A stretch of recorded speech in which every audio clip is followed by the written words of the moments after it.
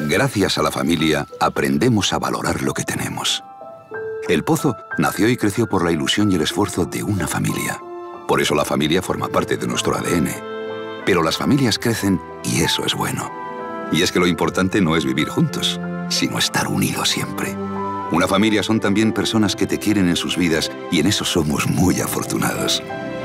Una buena familia comienza con un buen ejemplo, porque las familias se construyen a base de confianza.